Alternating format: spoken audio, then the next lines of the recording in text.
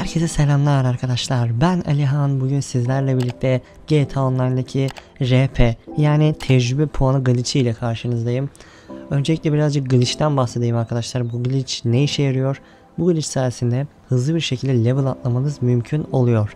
Dediklerimi yaptığınız takdirde çok hızlı bir şekilde 400 RP kazanabilir ve level atlayabilirsiniz. Ayrıca bu glitch'i yapabilmek için Mobile Operation Center adındaki tıra ihtiyacınız var arkadaşlar.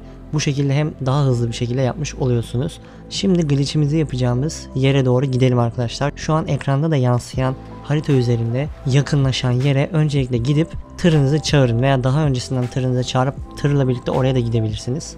Bundan sonraki kısım için videoyu izleyelim ve tam olarak ne yapmanız gerektiğine bakalım.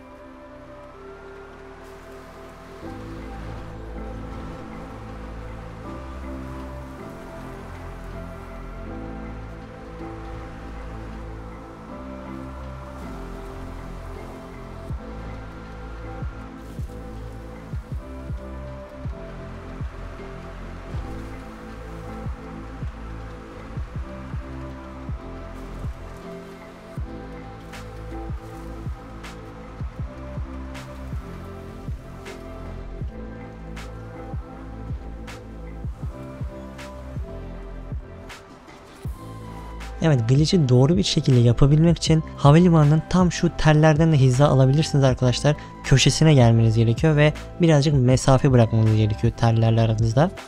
Daha sonrasında yapacağınız şey tellerin tam o köşesine doğru koşmak.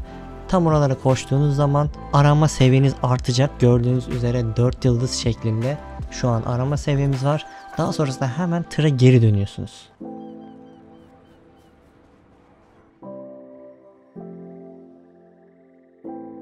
Gördüğünüz üzere 400 RP kazandık. Şimdi aynısını bir de ne kadar RP kazandığımızı görebilmek adına yapmadan hemen önce RP'mize bir bakalım. Gördüğünüz üzere 3.578.400 RP'miz bulunuyor. Soldaki rakama bakacağız. Ee, önceki rakamlara gerek yok arkadaşlar. Sadece sondaki 3 rakam olan 400 RP'ye bakalım. Şimdi orası bu işlemden sonra 800 RP olacak. Hemen izliyoruz.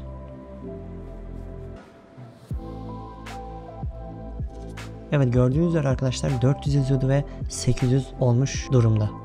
Bu işlemi istediğiniz kadar tekrar edebilirsiniz arkadaşlar. Herhangi bir süre sınırı ya da herhangi bir yapma sınırı bulunmuyor. Dolayısıyla bu yöntemde aklınızın bir köşesinde bulunsun.